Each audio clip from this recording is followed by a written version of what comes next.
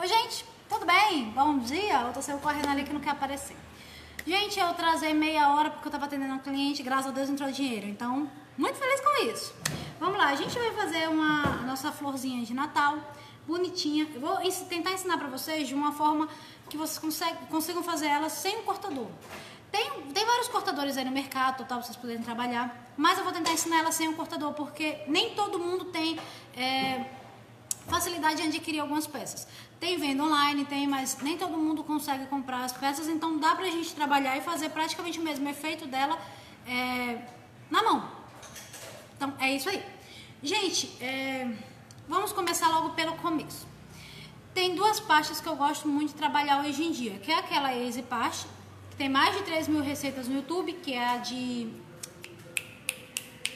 polvilho doce, tá? Tem várias receitas aí no YouTube, vocês podem pegar ela para trabalhar, é muito boa também. E a minha tapioca. A minha tapioca, eu tenho essa receita em uma aula online separada, tá? Mas a Easy Pasta dá para trabalhar tranquilamente. E a pasta de flores também. Ontem aqui no meu espaço, que eu tenho uma lojinha, eu estou tentando ganhar minha vida, sabe? Sim, dinheiro. Ontem aqui na lojinha eu dei a aula dela em pasta de, da mix de flores e na pasta flexível. Mas por que eu gosto tanto de trabalhar com a pasta flexível? Porque ela não soa, ela não derrete, você pode guardar carro do som. Você pode guardar elas na geladeira. Vocês vão poder fazer essas flores até com aquela pasta da, de polvilho doce, a Exipasta. Vocês podem fazer esse tipo de flor para colocar em, em bolo de chantilly, chantininho. Então, Sinceramente, vale bem mais a pena trabalhar com esse tipo de pasta hoje em dia do que trabalhar só com a pasta de flores, só com a pasta de a pasta de flores tradicional. Porque num tempo úmido ela vai derreter, ela vai suar, tu vai perder tempo de trabalho. E essa não, esse tipo de pasta você pode usar em todos os bolos gelados ou bolo temperatura ambiente, entendeu? E ela não quebra. Então, eu indico. Tem vários vídeos aí no YouTube e tem a minha maravilhosa, linda, que você tinha que entrar em contato comigo no meu Face, que é a minha Miranda Cake Designer para poder pegar a receita dela. Beleza? Entendemos? Todo mundo entendeu? Todo mundo feliz? Ok. Então a gente vai começar com as primeiras pétalas. Eu já deixei aqui todas cortadinhas, bonitinhas para vocês, mas eu vou mostrar para vocês como é que a gente começa fazendo os cortes dela, tá bom? Rapidão. Gente, amado da minha vida, bom dia! Bom dia, Marta. Bom dia, Arli. Bom dia, Iris. Bom dia, Magnória. Bom dia, Simone. Bom dia. Bom dia, gente. Bom dia. Olha, vou pegar um pedacinho dessa pasta. Eu vou abrir para um lado e vou abrir para o outro. Tá dando para ver aqui, né? Deixando o meio mais grossinho. E vou afinar também para frente. Ó. Deixei o meio mais grossinho aqui, ó. Tá dando para ver? Tá bem transparentezinho, mas o meio... Ah, esse meu nariz tá top. Mas o meio tá grossinho. Aí eu vou pegar um araminho, pode ser do verde, do branco, que vocês tiverem a mão. E vocês vão colocar ele nessa parte que tá mais grossinha. Sem medo. Sem medo de errar. Aperta assim bem. Puxando um pouco essa parte pra vir pra cá. Não tem dor de cabeça, tá, gente? Feito isso daqui, a gente vai cortar a primeira pétala. Tinha um bisturi por aqui, filha, tu viu, amor? Um azul. Obrigada. A gente vai cortar Bom dia, Giovana. Oi, Lourdes. Bom dia, meu amor. Tá bem? Dormiu bem? Preste atenção no movimento. A questão é o movimento. Primeira pétala, vocês vão fazer isso daqui, ó. Na verdade, vocês trabalharem com o corte da pasta, vocês podem fazer qualquer flor sem cortador, tá, gente? Porque vocês que vão manipular o modelo da pétala. Vocês que vão cortar, vocês vão dar um movimento para ela. Nesse tipo de pasta, amor, a gente não trabalha com boleador, porque como ela é extremamente macia, se você trabalhar com um boleador de metal, tu vai danificar a bicha inteira. Então a única coisa que tu faz, pega uma pastinha e vai alisando os cantinhos, olha, delicadamente, com muito carinho e amor. E tu vai abrindo, olha. E daqui eu já boleei a minha florzinha, minha pétalazinha.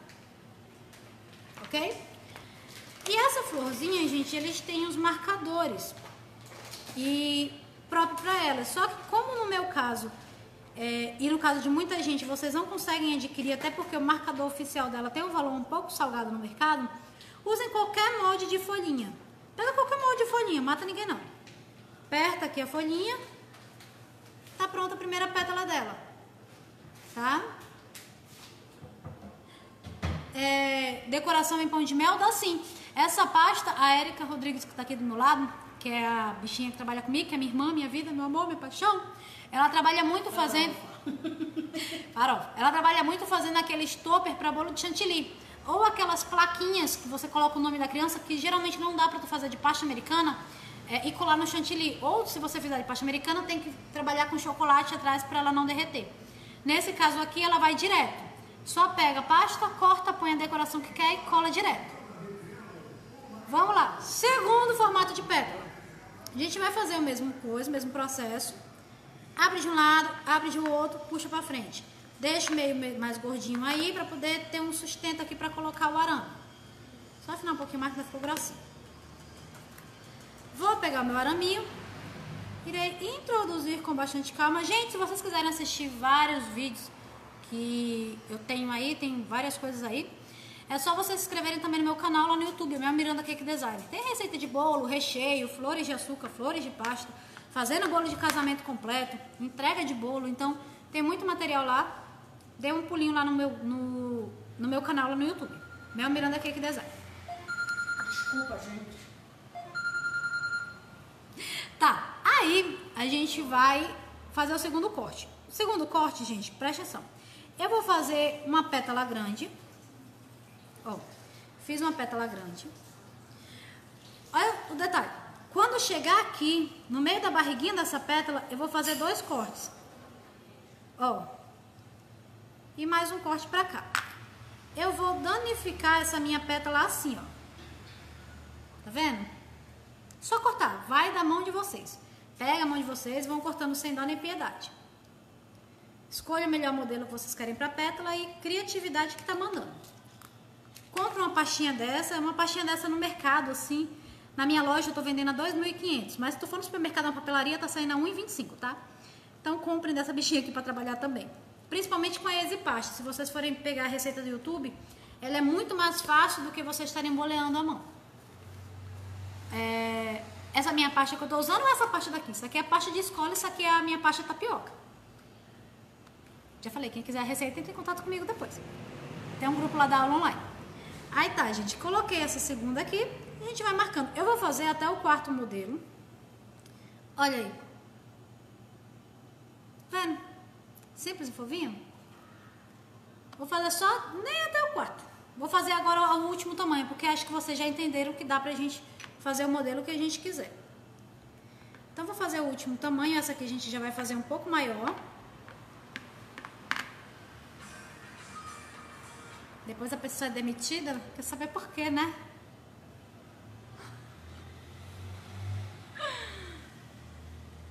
Demitida na época de Natal ainda, coisa tal. Tá, gente, vou colocar aqui. Aí eu vou abrir, olha, um pouco bem maiorzinho do que a outra. Ó, abri bem maiorzinho do que a outra. Eu vou ajeitar essa minha pontinha aqui de baixo. Vou trazer essa minha massinha aqui pro caule. Bom dia, Irene. Tudo bem, meu amor?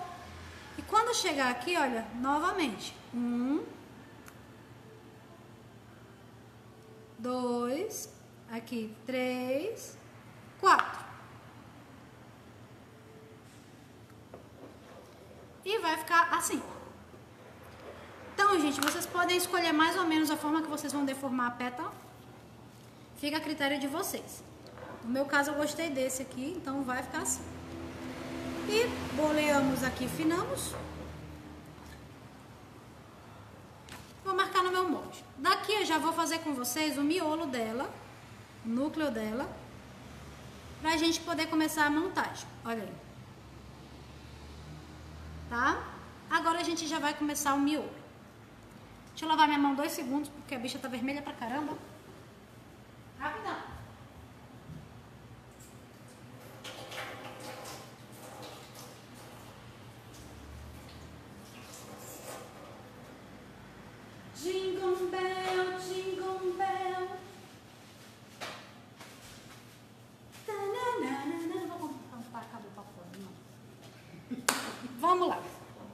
Feita essa parte daqui, a gente vai agora para o miolinho dela.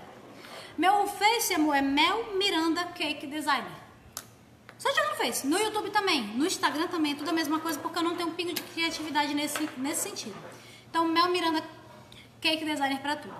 Gente, pra gente fazer o primeiro, o pistilo dela, o pistilo principal, a gente vai pegar a linha de costura. Nossa querida e amada linha que a gente compra pra ajeitar uma saia, short, uma calcinha, um furão. Não use a mesma linha, tá? Compra um tubo só pra isso aqui, tá bom?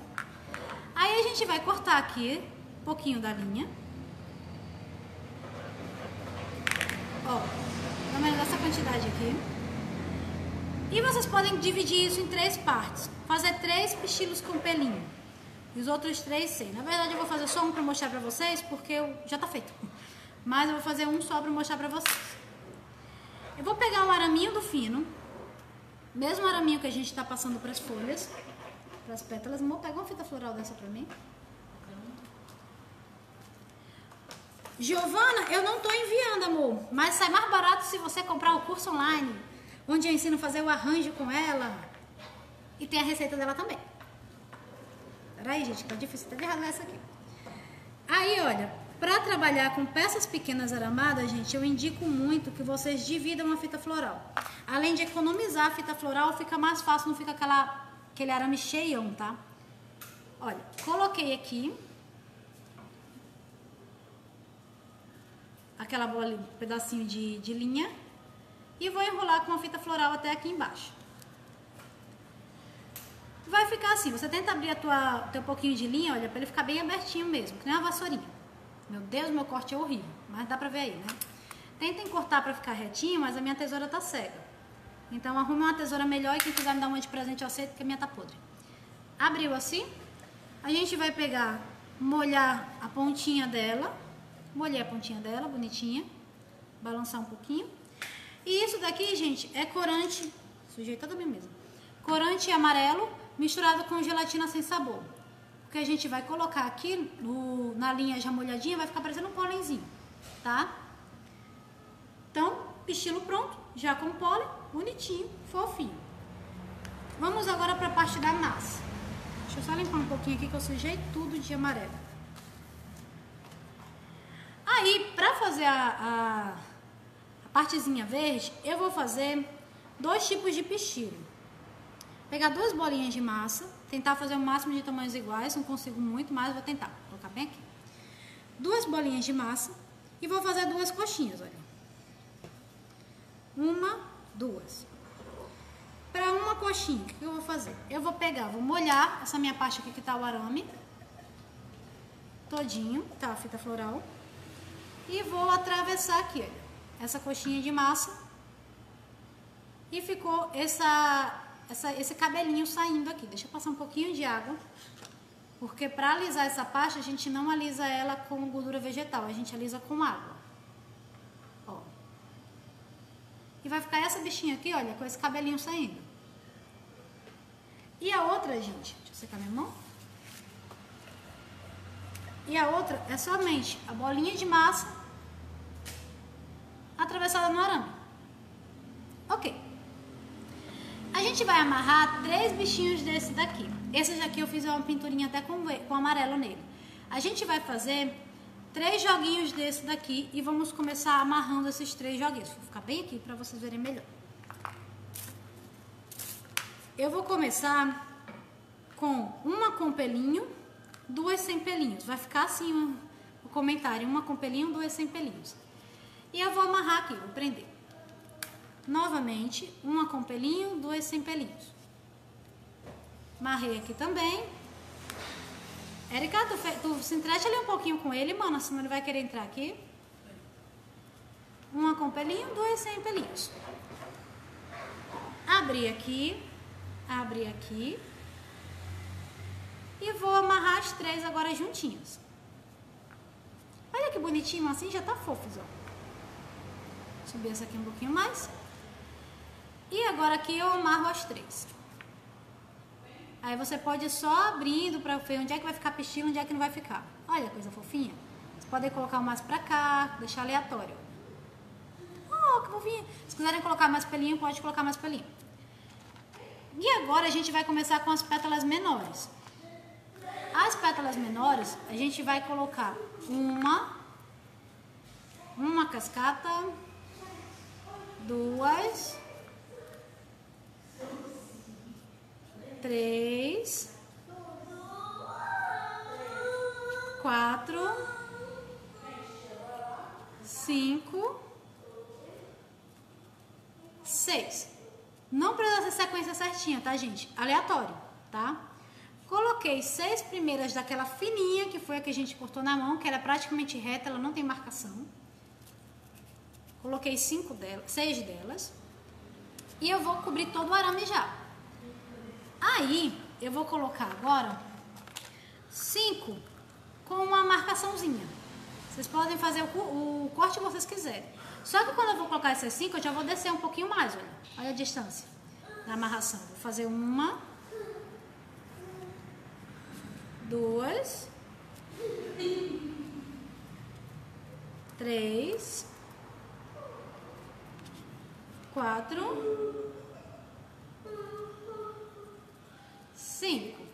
Pronto, olha como ela já ficou. Passa só essa aqui pro lado. Olha aí. Bom dia! Aí agora a gente já vai entrar com mais uma camada tortinha. Vocês podem fazer o jeito que vocês quiserem. Pensem que essa aqui, olha, mais baixo também. A gente abaixa mais um pouco também. Pensem que vocês podem fazer essas flores aqui sem dor de cabeça nenhuma, que quanto mais torto, quebrado, mais bonito fica. Então, é uma das flores mais práticas. E assim, se tu for fazer um bolo de Natal que seja todo branco, Faz ela toda branca com glitter, fica muito bonitinho também. Põe uns flocos de neve ao redor, vai ficar top. Olha aí como tá aqui a divisória dela, olha. E olha ela de frente. E agora a gente vai colocar as maiores. Eu cortei cinco também maiores, que essas daqui que a gente vai dar o efeito final. Uma, duas, três. E como eu falei, gente, além do fato delas não quebrarem e não suarem, não derreterem, vocês podem fazer com bem antecedência e guardar várias na geladeira. E pode usar em torta, no que for. Vai ficar um bicho, além de gostoso, bonito pra caramba. E ela é tapioquinha com coco. Quem não gosta de tapioca com coco, né? Quem falar que não gosta, vai ficar muito chateado, tá bom? Tem que gostar de tapioca com coco, por favor. Cobri essa aqui até embaixo. Olha como ficou a parte da colocação lateral dela e olha a parte de cima. Vendo? Aí, se vocês quiserem, com o mesmo modelo da última pétala, vocês podem fazer a folha. Faz uma folhinha cor de verde, essa que vocês poderiam pintar. Vou mostrar aqui como é que fica pintado. Esse arranjo aqui eu fiz ontem na aula que teve aqui em casa. Então, olha, olha o tom da folha. Ele tá bem mais escurinho porque eu pintei com corante fosco por cima. Só que essa aqui eu não pintei, é o mesmo tom de massa, só que essa aqui eu não, essa aqui eu não pintei. Então vocês podem pintar também para dar um, um, um, tom mais escurinho para ela, fica bem mais bonitinho. Só que deu preguiça de fazer, então eu deixei assim mesmo, tá? No caso, assim mesmo. No caso, assim mesmo. E vamos usar assim mesmo. Aí, olha, pega, desce sempre aquele um centímetro a mais de diferença das outras e começa a colocar as folhinhas. Um, dois, pode colocar até cinco, tá? Ou seis ou dez, a flor é de vocês, pode escolher como vocês quiserem. Não tem problema não. Bom dia, bom dia, bom dia, gente. Bom dia, bom dia, bom dia. E ó, ficou assim. Olha que bichinha fofinha, gente. Olha que coisa mais bonitinha. Vocês podem fazer de pasta do que for. Peguem só a sequência e lembrando, se vocês não tiverem um cortador, tem problema não, faz o corte na mão que dá certo, entendeu? Tá aqui, olha. As pétalas referências, dá tudo certo. Ih, cara, caiu, peraí. Dá certo, viu? Não tem problema, se vocês não tiverem, não deixem de fazer por não ter o cortador, vocês podem fazer tranquilamente. Fica bonito, não tem erro. Não... Eu tô usando a minha pasta de tapioca, amor, mas vocês podem usar a Easy que tem a receita lá no YouTube. Vai bem pouquinho material, se não me engano, vão uns quatro materiais só, e é tudo material barato. Ou podem usar a pasta de flores também, da Arcolo, que vocês estão é, usando tradicionalmente. Mas quem quiser usar a minha mesmo, entre em contato comigo para ver o curso online, porque a gente tem um curso dessa pasta maravilhosa, tá bom, gente? Que pode ir pra geladeira. Foi o mesmo que eu dei essa aula aqui ontem, que foi a aulinha de flores aqui em casa. Olha que fofinha, gente. Então é isso. Eu espero que vocês tenham gostado. Façam aí, me marquem lá no Face, é Mel Miranda Cake Design. Sigam meu canal no YouTube, Mel Miranda Cake Design também.